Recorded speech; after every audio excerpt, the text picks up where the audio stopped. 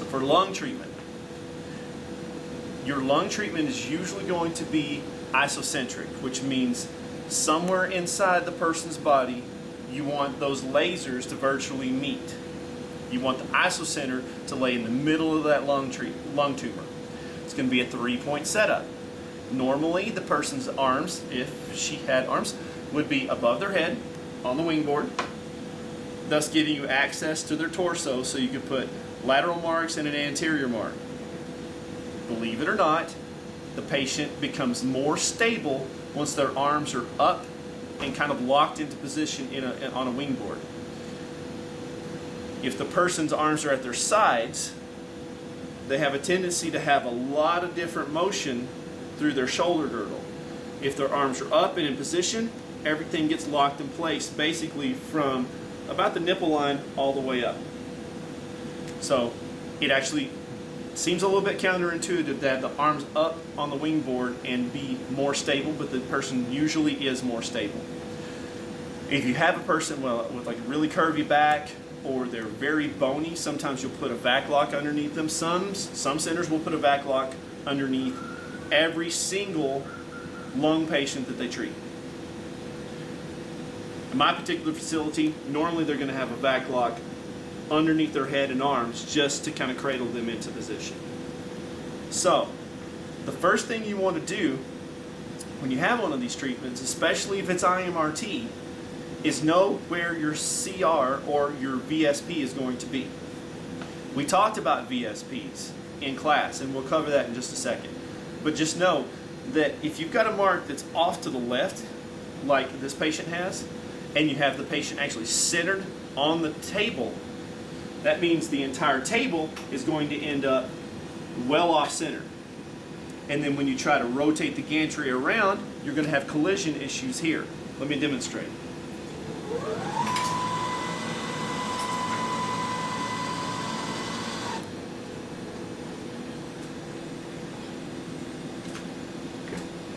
So we're going to line up to the patient's lateral mark. As we've discussed before, the driver goes 100% on. The person on the opposite side rolls halfway. Back and forth until everybody's on. Now, you have these, this anterior mark. This anterior mark, in this particular case, is going to act as our ver vertical setup point, VSP. Because in this particular case, we're not actually going to treat through that mark. That mark is to allow us to set the patient up with the gantry in a vertical position just as a setup point so that the person is in space where they need to be so that the tumor is centered at isocenter. Now, as we said before, we just centered this patient on the table, which for some treatments that's perfectly valid. But in this particular case, you've got a problem. If you have the person centered on the table, but the table is off to the side, you have the potential, in this particular case it didn't happen, but we're going to come a lot closer to running into the table than we would otherwise. Let's say, for instance, we're closer like this. Once you, excuse me, rotate over to the side, we're coming very close to having a collision. So in order to avoid that, what you normally want to do is actually center the VSP in the middle of the table instead of centering the patient in the middle of the table. So what you'll do, since we know that the VSP is off to the patient's left, you're going to move the patient herself over to the right. And then before you really start setting the patient up, you're going to put your laser kind of on the VSP as, as a ballpark and see how centered your table is. If you have the table centered, she needs to be over just a little bit more. So she's off to the side. But once you're set at your vertical setup point, your table is actually centered. You're going to be able to avoid collisions on both sides anywhere you rotate. So if you rotate down to the right lateral and up underneath, or the left lateral and up underneath, you're not going to have to worry as much about running into the table.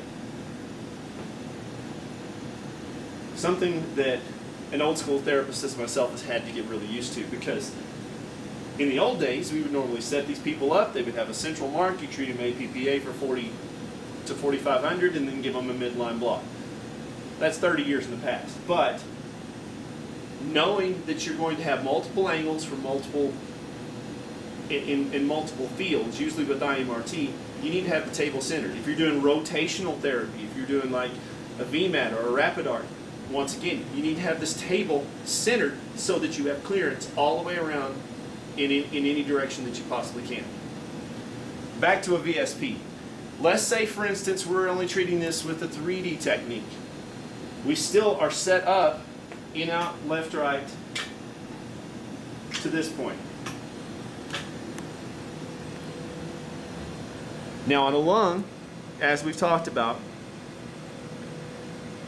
you're going to trust this anterior mark for in out more than you're going to trust the lateral marks. Anything that is above the inferior costal margin, you go in out left right to the anterior mark. Anything below the inferior costal margin, you trust the laterals because except for Pixie, most people have a lot going on down in the abdomen and the pelvis. You could have bladder feel, you could have gas, you could have other contents that are going to move your marks around.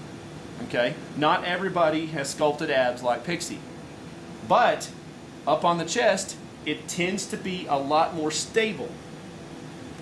Also, in a lot of instances that, at least in my facility, you're going to have lateral setup marks in a stable location. Let's say, for instance, you're treating very high on the patient's chest. You don't want to try to have a lateral mark in someone's armpit. That is not stable, that is not reproducible. Having them set up to where you're kind of mid chest to where you get their whole chest cavity, their whole torso leveled out where it's supposed to be. And then you move to the vertical setup point, the VSP. Set your depth or your APSSD, whichever one is going to happen at your facility, and then rotate over and treat. For instance, in this particular case, she's not going to receive a treatment from the AP. She's going to get. This is close to the to the uh, to the diagram that I gave you in class.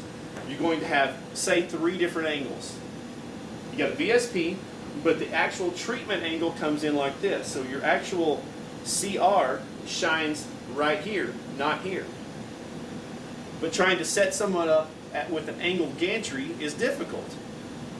A three-point setup with the gantry straight up and down at a vertical setup point is very easy and reproducible, and it's the same every day.